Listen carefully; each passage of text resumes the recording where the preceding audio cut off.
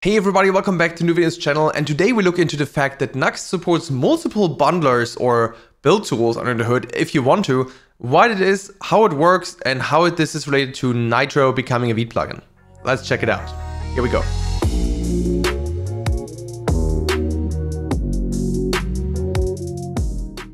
You heard it correctly. Nitro will just become a Vite plugin and the alpha for that is out right now.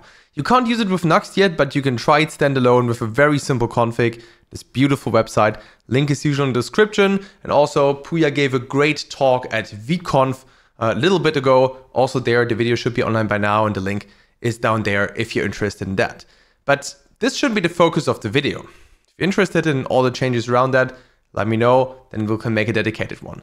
Today, I actually want to talk about something slightly related. That's why I mentioned before because it's about the internal architecture of Nuxt.js here. We'll come back to the packages on GitHub in a little bit, but first of all, let's take a look at what I actually mean. If we run a simple pnpm dev command in our normal Nuxt application, this one as minimal as possible, we see that Nuxt by default runs with Nitro, you all know that, with Vue, and with Vite, right? But if you have a look at the packages here, then we actually see Vite down here, but also other different bundlers or build tools like Webpack or Rspack here.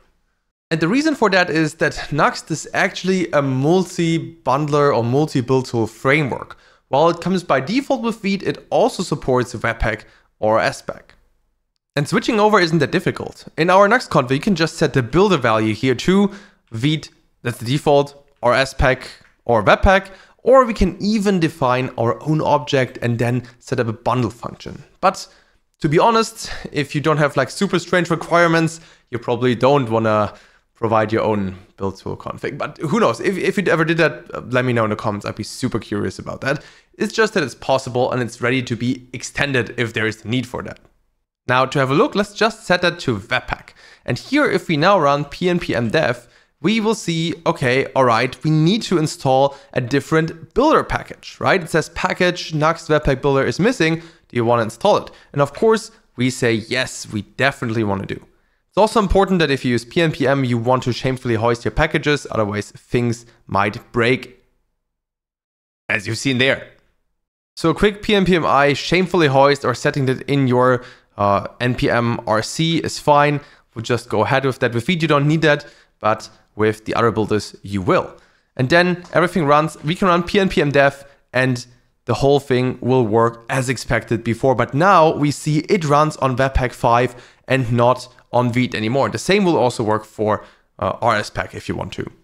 And that's actually all you need to do to switch from one builder to another. Now there's some caveats, but first of all, you might wonder, why would I want to do that?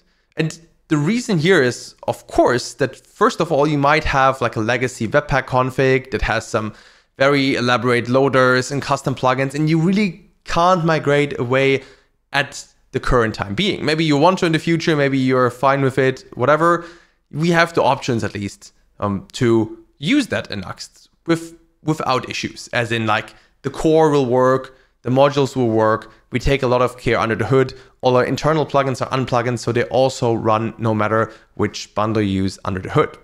But if we have a look into the usage stats, then we see that the Webpack builder itself has like around 1,661 weekly downloads. So it's a, well, a quite small amount compared to the Vite builder that has roughly 821,000 downloads per week. So we see that this is not necessarily a popular option, but it's possible.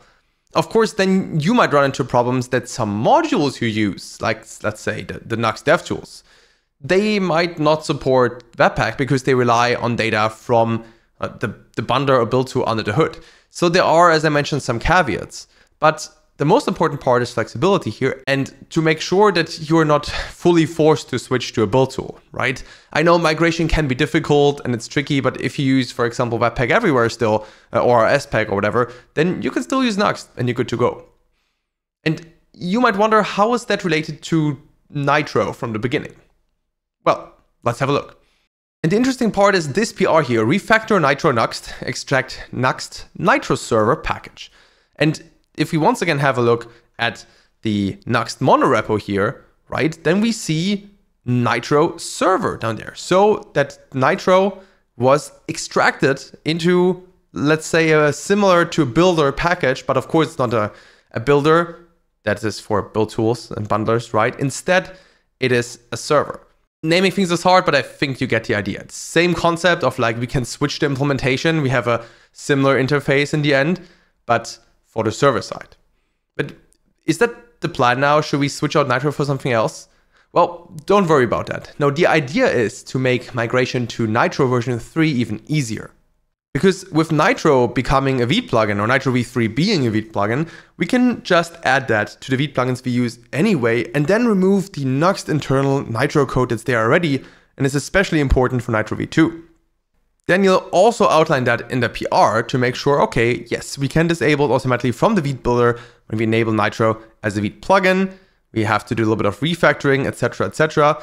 But it also opens the door to say, okay, we have easier ways to maybe add uh, other parts there. Or even better, if you need to, you don't have to like fork Nuxt and change things. You can override a package or similar to the uh, builder interface that I've shown you a little bit ago, you could do the same for the server. So in the end, this allows more flexibility while like not removing anything. It just gives another point, another flexible option there if you need it. Like most people probably will never switch from Vite because it's an amazing tool, right? Um, and most people won't switch from Nitro as like the the server part of Nuxt.js, but people in theory could do that then easier. Would you want to do it? Probably not, especially not with Nitro v3 um, or maybe switching from Nitro 2 to Nitro v3 by overriding the package, etc., etc. So there are a couple of ways. It's just a little bit more flexibility. And this is one of the things I really uh, cherish about Nuxt itself. Like, it is quite flexible and it will not stand in your way if you have weird requirements. Believe me, I've seen this in, in countless consultancy projects. So uh, if that's a concern, don't worry about that. So what's the TLDR for our Nuxt application here? Should we or should you use a different builder here? Well, as mentioned, if you need to, because you have a Webpack config that's shared everywhere, this is the way to go, go ahead, do it. But by default, I would probably just say, yeah, it's fine. We're running on Vite. This is like the shared infrastructure of the web, so you're good to go. But nevertheless, just having that freedom also to create an own one is something that especially people with strange requirements will benefit from. Any questions about that? As usual, drop it right below in the comments. Other than that, take a look at all the ViteConf talks. Links are also down there. It was an amazing conference.